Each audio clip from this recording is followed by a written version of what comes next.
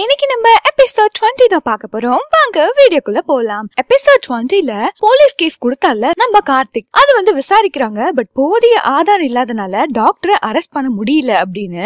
அந்த போலீஸ் இருக்கால அந்த போலீஸ் வந்து நம்ம ஹீரோக்கு ஃப்ரெண்டு தான். சோ அசோக் கிட்ட கால் பண்ணி சொல்றாங்க. இந்த விஷயத்த கேட்டுட்டு இவனுக்கு செம்ம கடுப்பாகுது. சோ நடந்தது எதுவுமே அவனுக்கு எதுவுமே தெரியாது.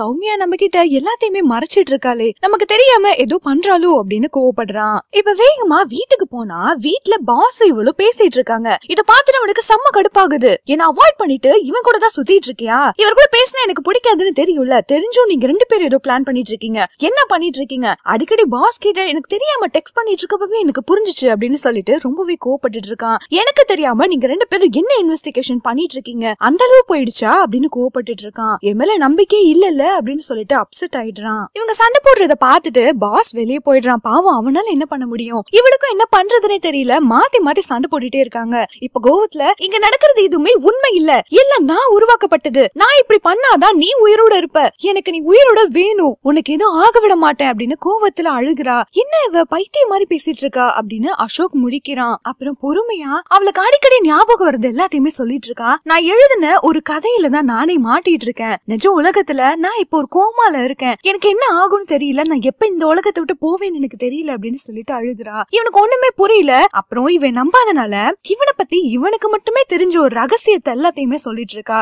இதெல்லாம் எனக்கு எப்படி தெரியும் பாக்குறியா? இந்த கதையை கிரியேட் பண்ணதே நான் தான். உன்னை கிரியேட் பண்ணது நான் தான். நீ ஒரு உண்மையான ஆள் கிடையாது. இது எல்லாமே ஒரு மாயை அப்படின்னு சொல்லவும் நம்ம ஹீரோக்கு செம்ம ஷாக் ஆகுது. அழுக வர ஆரம்பிக்குது. இவ சொல்றதெல்லாம் உண்மைன்னு புரிஞ்சுக்கிறான். நம்ம ஒரு உருவாக்கப்பட்ட கேரக்டர் தான். நிஜம் கிடையாது அப்படின்னு தெரிஞ்சவும் இரிஞ்சு போயிடுறான். அப்புறம் தனியா உட்காந்துட்டு கிரவுண்ட்ல ரொம்பவே ஃபீல் பண்ணிட்டு இருக்கான் சரியான சரக்கு பித்து பிடிச்ச மாதிரி இருக்கான். இப்போ அந்த இடத்துக்கு எதார்த்தமா குரு வரான். இவ இப்படி இருக்கிறத பார்த்துட்டு பதறி போயிடுறான். டேய் என்னடா பண்ணிட்டு இருக்க இங்க என்ன பண்ணிட்டு இருக்க என்னடா ஆச்சு? அந்த பொண்ணு கிட்ட எதுவும் பேசுறது இல்லையா? பிரச்சனையா? அப்படின்னு கேக்குறான். ஆனா இவன் பாட்டுக்கு இந்த உலகமே பொய் தானா இந்த உலகத்துல நான் முக்கியமான கேரக்டர் இல்லையா? அப்படின்னு என்னென்னமோ பேசிட்டு இருக்கான். இதை பார்த்துட்டு என்ன நீ உளர்ற? நீ ஓவரா ட்ரிங்க்ஸ் பண்ணிருக்க போல. சரி வா போலாம் அப்படின்னு சொல்றான். நம்ம இந்த உலகத்துல உண்மையான கேரக்டர் இல்லனா நம்ம வாழ்றதே வேஸ்ட் தானே? அப்படின்னு சொல்றான். ஏன்? வாழ்றதே வேஸ்ட் அங்க பாரு குழந்தைங்கள. எவ்வளவு அழகா விளையாண்டுட்டு இருக்காங்க. அவங்களா உண்மையான கேரக்டர் இல்லையா? அவங்க உலகத்துல அவங்க தான் உண்மையான கேரக்டர் இப்போ ஒரு பையனால பால் அடிக்க முடியல அப்படின்னா அவன் அது உண்மையான கேரக்டர் அவங்க அவங்களுக்கு அவங்க அவங்க உண்மையான கேரக்டர் தான். அவங்க ஹீரோ ஹீரோயின் தான். இதெல்லாம் நினைச்சு நம்ம ஃபீல் பண்ணிட்டு இருந்தா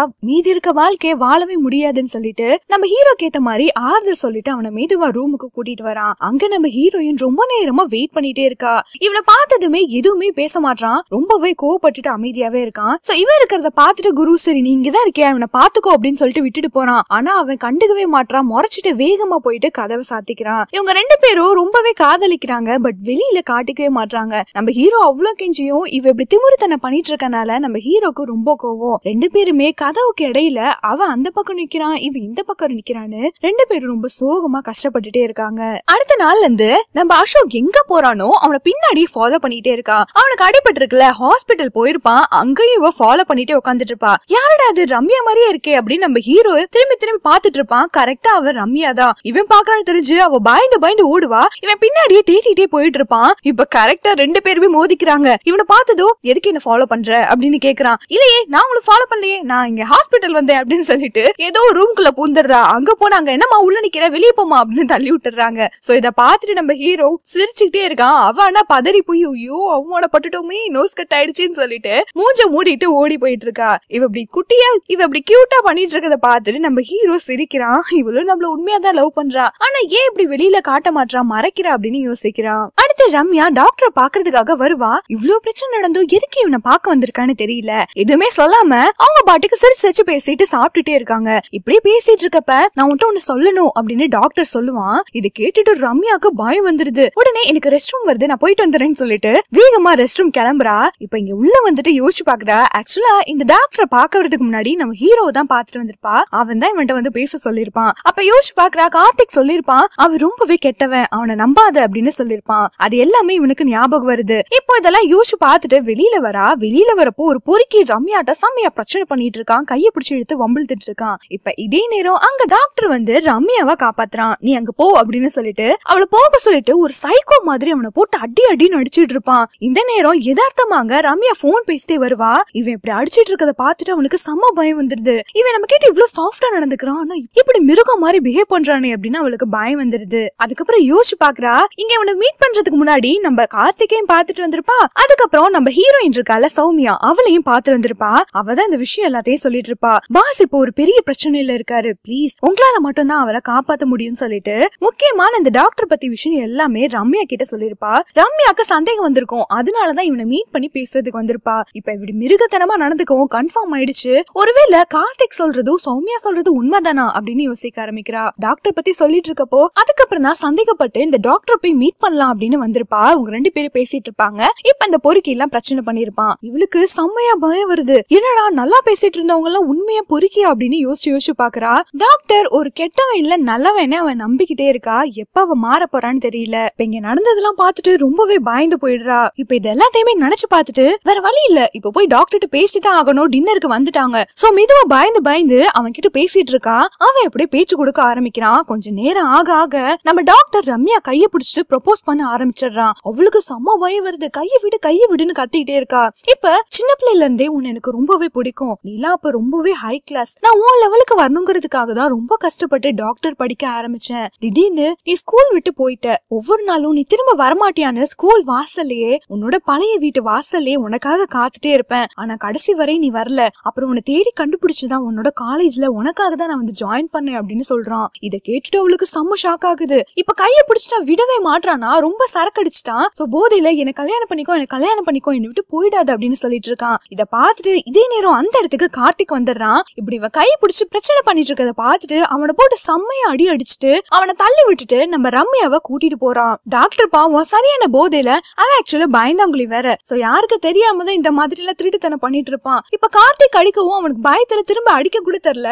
பயந்து போயிடுறான். இப்ப தரத்தரன்னு ரம்யாவை கார்த்திக் இழுத்துட்டு போயிடுறான். ரம்யா ரம்யாக்கு ரொம்பவே சங்கட்டம் ஆயிடுது ஆனா ரம்யா மேல கார்த்திக் வர வர ஓவர் பாசம் காட்டுறான். என்ன விஷயம்னு தெரியல. ஒருவேளை காதல் வந்துருச்சுன்னு நினைக்கிறேன். சோ இதோட இந்த எபிசோட முடிக்கிறாங்க.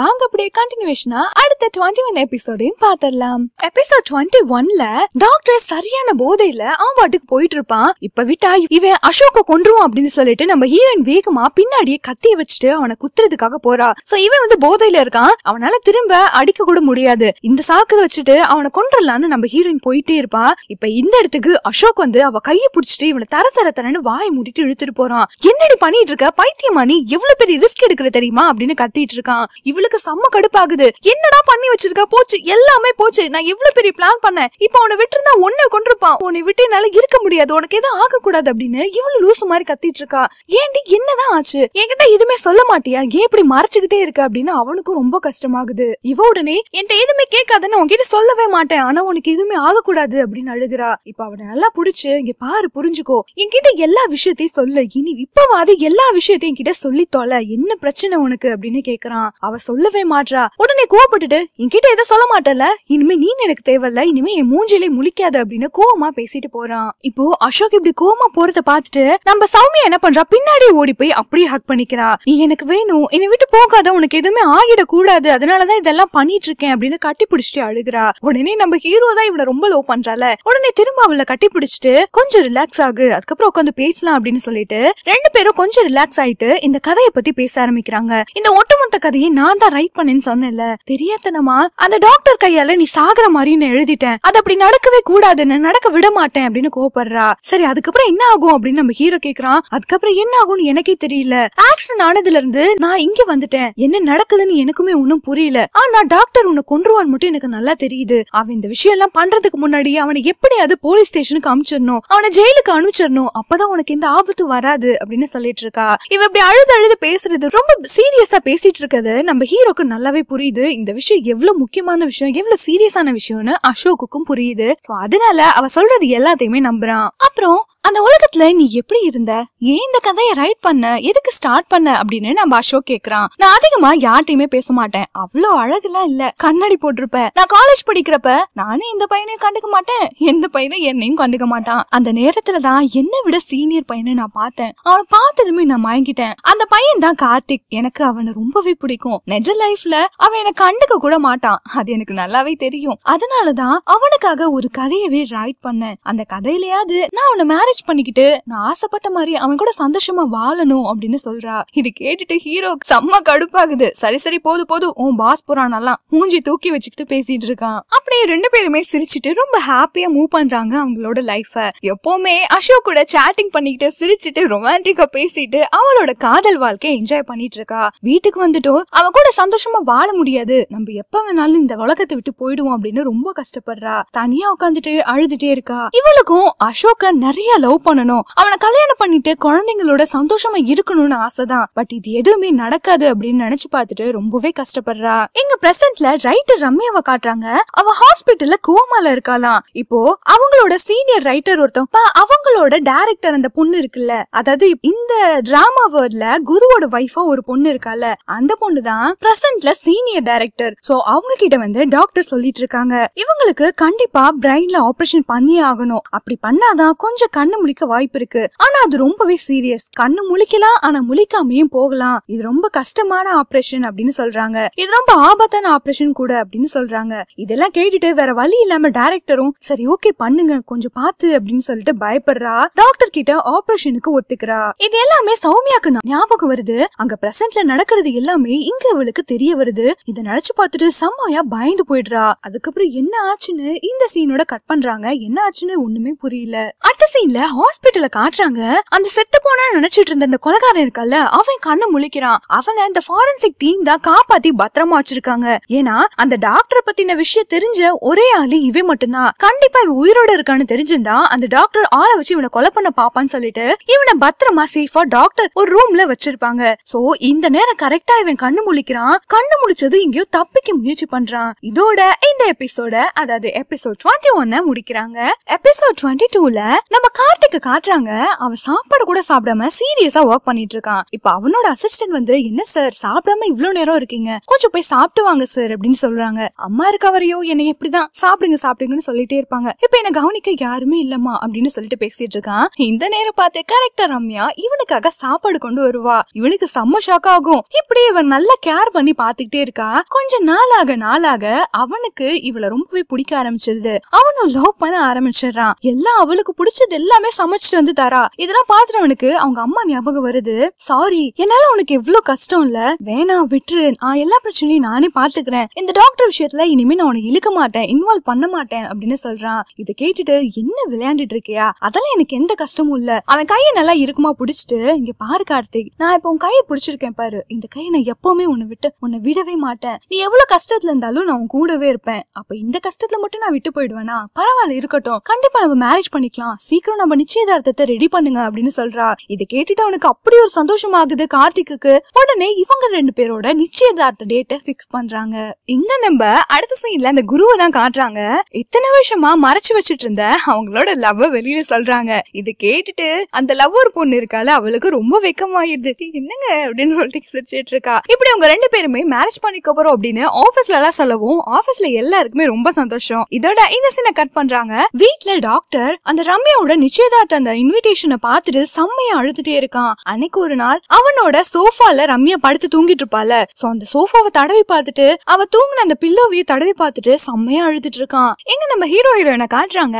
அவங்க ரெண்டு பேரும் நிச்சயத்துக்கு கண்டிப்பா டாக்டர் வருவானான்னு தெரியல அப்படின்னு சொல்லிட்டு இருக்கா. உடனே நம்ம அசோக் சொல்றான் அவன் கண்டிப்பா வருவான் எனக்கு அவனை பத்தி தெரியும் அப்படின்னு சொல்றான். உடனே இப்படியே இவங்க ரெண்டு பேரும் பேசிட்டு இருக்காங்க. சரி ஓகே நான் போறேன் ஆபீஸ்க்கு கிளம்புறேன் அப்படின்னு நம்ம ஹீரோயின் அப்படியே தயங்கி தயங்கி போய் நிப்பா. இவனும் சரி ஓகேமா கிளம்பு அப்படின்னு சொல்லிட்டு டாடா காட்டுறான். இவன் என்ன பண்றா? இன்னொரு ஸ்டெப் எடுத்து வச்சுட்டு ஆ நான் ஆபீஸ் கிளம்ப போறேன் போறேன். போறேன் அப்படின்னு சொல்லிட்டு நின்றுட்டே இருப்பா. நம்ம ஹீரோக்கு நல்லா புரிஞ்சுது. ஆஹா புரிஞ்சு போச்சு புரிஞ்சு போச்சு அப்படின்னு சொல்லிட்டு நமக்கே புரிஞ்சிருச்சு இவன் என்ன சொல்ல வரான்னு. அவனுக்கு புரியாதா என்ன? அப்படியே அவ கைய பிடிச்சு இழுத்து கிஸ் பண்றான் இதே நேரம் இங்க ஹீரோக்கு கால் பண்ணி ரம்யா நிச்சயத்துக்கு வர சொல்றா. இதே நேரம் இங்க ரம்யா டாக்டருக்கு கால் பண்ணி நிச்சயத்துக்கு வர சொல்றா. பாவம் இவனும். என்ன புரிஞ்சுக்க ஏன் இப்படின்னு ரொம்ப கஷ்டப்படுத்துற? அவன் உன்னை சந்தோஷமா பாத்துக்க மாட்டான். நீ அவன் கூட சந்தோஷமா இருக்க முடியாது. நான் உன்னை நல்லா பாத்துக்கிறேன். கூட வந்துரு அப்படின்னு சொல்லிட்டு அவன் ரொம்பவே கஷ்டப்பட்டு அழுகுறான் ரம்யா என் மேல நீங்க அக்கறையா இருக்கீங்க. அது எனக்கு புரியுது. பட் ஆனா இது பிராக்டிக்கல் இல்ல. எனக்கு உங்க மேல எந்த இன்ட்ரெஸ்டும் இல்ல. அப்படின்னு சொல்றா. இதை கேட்டுட்டு டாக்டருக்கு ரொம்பவே கஷ்டமாகுது. அப்படி போனை வச்சிடறா. அடுத்த சீன்ல இந்த டாக்டர் என்ன பண்றான்? கார்த்திக் எப்படியாவது கொலை பண்ணணும்னு சொல்லிட்டு அவன் மேல கூப்பிட்டுட்டு அவனை கொலை பண்றதுக்காக ஏதோ மாறு விஷயத்தெல்லாம் போட்டுட்டு அவன் வீட்டு வாசலே நின்னுட்டு இருக்கான். அவனை சுத்தி சுத்தி வந்துட்டே இருக்கான். இதே நேரம் இங்க ஹாஸ்பிட்டல்ல இருந்து அந்த கொலைக்காரன் தப்பிச்சிடுறான்ல. சோ இந்த டாக்டர் தேடிட்டு வந்துடுறான். ஏன்னா இவன் கொலை பண்ண பண்ணான்னு சொல்லிட்டு அவனுக்கு நல்லாவே தெரிஞ்சிருது. இப்ப நேரா டாக்டர் போய் தனியே பேசிட்டு இருக்கான். அவன் சட்டையை புடிச்சிட்டு என்ன கொலை பண்ண பார்த்த நீ எனக்கு துரோகம் பண்ணிட்ட. உன்னெல்லாம் நான் எவ்வளவு நம்பினே தெரியுமா? அப்படின்னு சொல்லிட்டு டாக்டரை போட்டு சட்டையை புடிச்சிட்டு அடிச்சுட்டு சண்டை போட்டுட்டு இருக்காங்க. இப்ப டாக்டர் இல்ல அவன் சைக்காலஜி டாக்டர் வேற. எந்த மாதிரி பேசினா இவன் எப்படி மடங்குவான்னு சொல்லிட்டு அவனுக்கு நல்லாவே தெரிஞ்சிருது. ஹே நீ வந்துட்டியா நீ உயிரோட தான் இருக்கியா? நான் உனக்கு எவ்வளவு ஃபீல் பண்ண தெரியுமா? அப்படின்னு சொல்லிட்டு அந்த கொலகாரன்ட்ட இவனுமோ நல்லாவே மாறி அவன் செத்து போனதே இவனுக்கு தெரியாத மாதிரி நடிச்சிட்டு இருக்கான். இத பார்த்துட்டு அவனுக்கு செம்ம ஷாக் ஆகுது. நான் செத்து போனது உனக்கு தெரியாதா? என்ன கொலை பண்ண ஆள் செட் பண்ணதே நீ தானே அந்த நெட்டை கட் பண்ணது நீ தானே அப்படின்னு கேக்குறான். என்னடா சொல்ற? நான் உன் கூட எவ்வளவு ஆறுதலா இருந்தேன். நான் எப்படி உனக்கு துரோகம் பண்ணுவேன் அப்படின்னு சொல்லிட்டு அந்த கொலகாரன்ட்ட அப்படி நல்லாவே மாதிரி பேசிட்டு சரி சரி ஓகே விடு. நீ எப்படி உயிரோட வந்துட்டல எனக்கு அதுவே சந்தோஷம் தான் நான் ஒரு பெரிய பிரச்சனைல மாட்டிட்டு இருக்கேன். என்ன நம்பு ப்ளீஸ் எனக்கு ஹெல்ப் பண்ணு அப்படின்னு கேக்குறான் டாக்டர் உடனே இவன் நல்லாவே மாதிரி நடிக்கவும் சரி ஓகேன்னு அவனும் ஒத்துக்கிறான். ஓச்சு இவன் ஒரு பைத்தியக்காரன் போல. இவனுக்கு ட்ரக்ஸ் கொடுத்து கொடுத்து கொடுத்து அவனை இந்த அளவு மாத்த வச்சிருக்கான் அந்த டாக்டர் இதை கேட்டுட்டு அந்த கொலகாரனும் சரி ஓகே அப்படின்னு சொல்லிட்டு அவனை நம்பி அவன் சொல்ற விஷயத்தெல்லாம் செய்ய ஆரம்பிக்கிறான். அடுத்த சீன்ல ரம்யாவும் அசோக்கும் ஒரு பொட்டிக் போயிட்டு மேரேஜ் ட்ரெஸ் எல்லாம் போட்டு பார்த்துட்டு இருக்காங்க. மாப்பிள்ள கோலத்துல நம்ம அசோக்க பார்க்கவும் அவ்வளவுதான் சௌமியா அப்படியே பிளாட் ஆகிட்டா. அவன் அப்படியே ஆச்சரியமா பார்த்துட்டே இருக்கா. அப்படியே ரொம்ப வைக்கப்படுறா. அதுக்கப்புறம் டக்குன்னு மூடிட்டு ட்ரெஸ் மாத்திர இடத்துக்கு போயிட்டு முன்னாடிலாம் அவன் இவ்வளவு அழகா இல்லையே. இப்ப நம்ம கண்ணுக்கு இவ்வளவு அழகா தெரியறான். சே செம்ம ஸ்மார்ட்ல அப்படின்னு சொல்லிட்டு வைக்கப்பட்டுட்டே இருக்கா. அதுக்கப்புறம் அவ போயிட்டு ட்ரெஸ் மாத்திட்டு வரா. இவ செம்ம அழகா இருக்கா. இத பார்த்துட்டு அசோக் அப்படியே மயங்கிடுறான். இப்படி அவங்க ரெண்டு பேரும் ஒருத்தர் மாத்தி ஒருத்தர் அவங்க அவங்க அழக பார்த்து ரசிச்சுட்டே இருக்காங்க. ரெண்டு பேரும் மாத்தி மாத்தி ரசிச்சு பாத்துட்டு இருக்காங்க எதுக்கு இதெல்லாம் அப்படின்னு சோகமா நம்ம ஹீரோயின் கேக்குறா? நமக்கு இதெல்லாம் நடக்குமா நடக்காதான்னு தெரியல. அதான் முன்னாடியே உன்னை இந்த கோலத்துல பாக்கணும்னு ஆசைப்படுறேன் அப்படின்னு சொல்றான். இதை கேட்டுட்டு ரெண்டு பேருக்குமே அப்படியே ஒரு சந்தோஷம். ஆனா நம்ம ஹீரோயின் வெளியே காட்டிக்கவே மாட்றா. சோகமா தான் இருக்கா. வெளியில சிரிக்கிறா பட் உள்ளக்கு சோகம் அப்படி ஒரு சோகம். கண்டிப்பா நம்ம அசோக் விட்டு பிரிய போறோம் அப்படின்னு அவளுக்கு நல்லாவே தெரியுது. அதெல்லாம் நினைச்சு பார்த்துட்டு ரொம்ப கஷ்டப்படுறா. அதுக்கப்புறம் அந்த மாதிரி மேரேஜ் ட்ரெஸ்ல ரெண்டு பேருமே போட்டோ எடுத்துக்கிறாங்க. ரொம்ப சந்தோஷமா இருக்காங்க. நம்ம ஹீரோயின் சோகமா இருக்கிறத பார்த்துட்டு நம்ம அசோக் என்ன பண்றான்? அழகா அவன் நெத்தியில கிஸ் பண்ணிட்டு எதை நினைச்சுமே நீ ஃபீல் பண்ணாத. நான் உன் கூட எப்பவுமே இருப்பேன். கஷ்டப்படாத. அப்படின்னு சொல்லிட்டு அவளுக்கு ஆறுதல் சொல்றான். இப்படியே கியூட்டா அந்த சீன் முடியுது. இதோட எபிசோட் டுவெண்ட்டி டூவும் முடியுது. வாங்க அப்படியே டுவெண்ட்டி த்ரீ டுவெண்ட்டி ஃபோரையும் பாத்துடலாம்